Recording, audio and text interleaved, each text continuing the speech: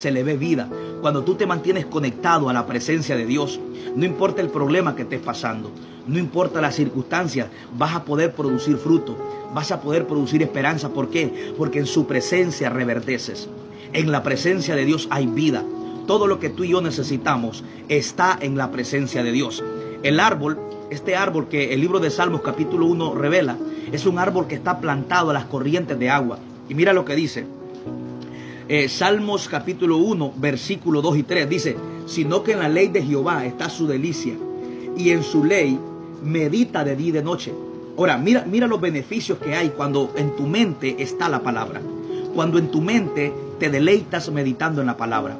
Cuando tu mente está conectada a la palabra. Mira el versículo 3. Será como árbol plantado junto a corrientes de agua. Fíjate cómo te mantiene la palabra de Dios cuando tú te mantienes conectada a ella.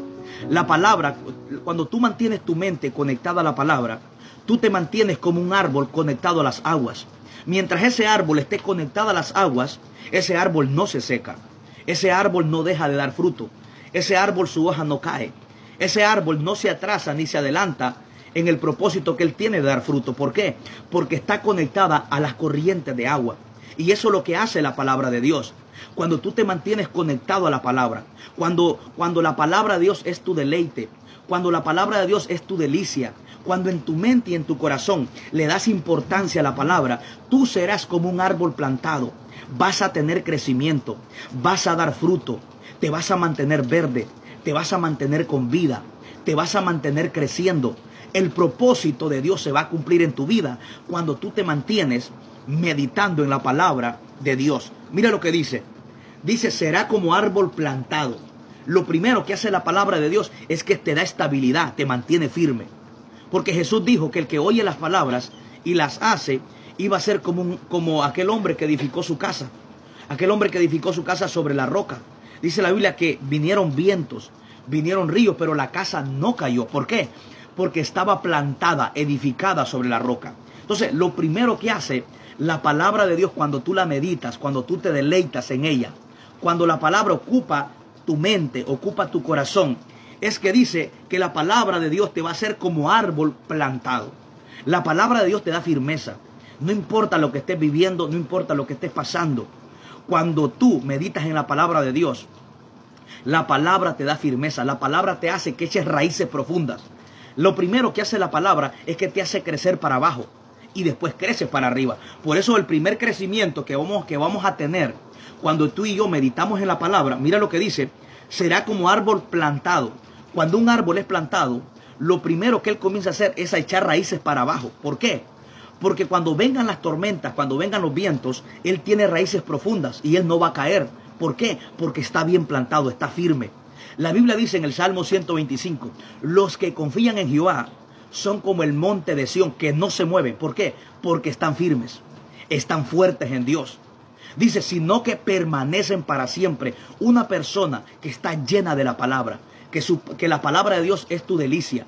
Cuando en tu corazón el deleite está en la palabra, tú serás como un árbol plantado que echa raíces. Vengan los vientos, venga lo, venga, lo, venga lo que venga. Tú estarás firme en Dios. ¿Por qué? Porque la palabra te hace estar firme. Por eso el Salmo 125 dice, que los que confían en Jehová son como el monte de Sión, que no se mueven, sino que permanecen para siempre. O sea, y una persona que está plantada permanece. Por eso aquí nos habla el poder que hay de meditar en la palabra, de leer la palabra, de pensar en la palabra. Mira lo que dice, será como árbol plantado. Mira los beneficios que hay de tú meditar en la palabra de día y de noche. Los beneficios son, será como árbol plantado. La palabra de Dios te planta, te da estabilidad, te da crecimiento, te hace que echas raíces profundas. Número dos, dice, será como árbol plantado junto a corrientes de agua. La palabra de Dios te mantiene con vida, te mantiene conectado a la presencia de Dios, te mantiene conectado a aguas frescas, te mantiene conectado a una fuente inagotable. Cuando tú meditas en la palabra, eres como un árbol. Mientras el árbol permanezca permanezca plantado a las aguas, ese árbol no se seca. Mientras tu mente y tu corazón esté conectado a la palabra, meditando en la palabra, a tal magnitud que, eh, eh, que, el, salmista David dice, sino que en la ley de Jehová está su delicia. Salmo capítulo 1, versículo 2. Sino que en la ley de Jehová está su delicia. O sea, ese es el deleite. Tu deleite debe de ser la palabra. Tu deleite debe de, debe de ser pensar en Dios. Todo lo que tú y yo necesitamos, paz y vida, está en Dios. La vida está en Dios. La paz está en Dios. El gozo, la esperanza está en la palabra de Dios. Si eso es lo que tú y yo necesitamos, pues debemos de meditar en la palabra de Dios. Porque dice, sino que en la ley de Jehová está su delicia. O sea, encuentra deleite. Y, y, la palabra deleite o delicia significa placer.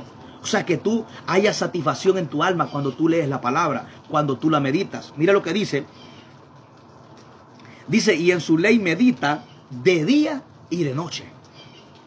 Dios quiere un interés por su palabra. Dios quiere que nosotros la meditemos a tal, a tal magnitud que la palabra de Dios sea tu, priori, sea tu prioridad. Cuando te levantes y cuando te acuestes, dice, de día y de noche. Ahora, mira qué poderosos beneficios los que hay cuando tú meditas en la palabra de día y de noche. Cuando tú te deleitas en ella, cuando encuentras placer. Porque tú no puedes meditar en la palabra si no encuentras placer, si no encuentras deleite. Por eso hay muchas personas que leer la Biblia se les hace aburrido, se les hace pesado, les pega sueño. ¿Por qué? Porque no encuentras ese deleite. Entonces, lo primero que el salmista David nos dice, dice, ve, sino que en la ley de Jehová está su delicia. Lo primero que el salmista nos habla en este salmo es de encontrar deleite. La palabra deleite significa placer. O sea, que tú entiendes, que tú sientes aquella satisfacción, le haya sabor cuando tú lees la Biblia. Eso significa la palabra delicia, placer intenso, donde tu alma se satisface, donde tu alma encuentra gozo, encuentra paz. O sea, tú no puedes meditar en la palabra de día y de noche si, si tu alma no encuentra placer intenso cada vez que la lees. Por eso es importante, por eso dice, dice, sino que en la ley de Jehová está su delicia. Lo primero que debes de encontrar para meditar en la palabra de día y de noche es encontrar delicia, encontrar deleite, encontrar placer. Que cada vez que tú leas la Biblia, debes de encontrarle ese placer, ese deleite. Que la Biblia no sea una carga, que la Biblia no sea, gloria a Dios, no que no te pegue sueño, no, sino que la palabra de Dios encuentres vida, encuentres gozo, encuentras esperanza. Y cuando tú encuentras deleite en la palabra, mira lo que dice, sino que en la ley de Jehová está su delicia y en su ley medita de día y de noche. Mira qué poderosa palabra. O sea, tú no puedes darle tiempo a algo sin antes no, no encuentras delicia, no encuentras deleite. O sea, ninguna persona puede meditar en la palabra si no encuentra deleite, si no encuentra placer en lo que lee y en lo que está meditando. Por eso para tú meditar en la palabra de día y de noche, según el salmista, dice que primero debes de encontrar delicia, deleite, placer. Cuando tú encuentras delicia y placer intenso cuando lees la Biblia, entonces vas a comenzar a meditarla de día y de noche. Porque tú no le vas a dar interés a algo, a algo que no le encuentres placer, a algo que no le encuentres deleite, a algo que no le encuentres gozo.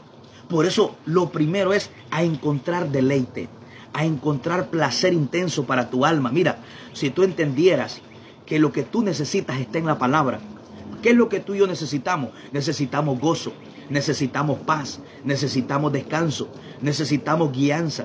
Todo lo que tú necesitas está en la palabra de Dios.